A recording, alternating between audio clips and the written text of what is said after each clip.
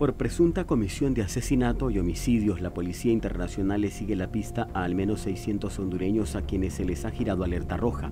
Esos ciudadanos están en la mira en los 190 países en los que esta organización forma parte. Según indicó un informe, Interpol de Honduras ha gestionado intercambio de información con autoridades migratorias de distintos países para dar con el paradero de quienes huyen de la justicia. Solo en el estado de Chiapas, en México, se desarrollaron 3.186 consultas de búsqueda que dejaron como resultado 38 capturas. En Yucatán se ejecutaron 394 requerimientos de información y se lograron 5 detenciones. Asimismo, se practicaron 70 solicitudes de información en Guatemala y se logró como resultado dos detenciones a ciudadanos buscados por la justicia.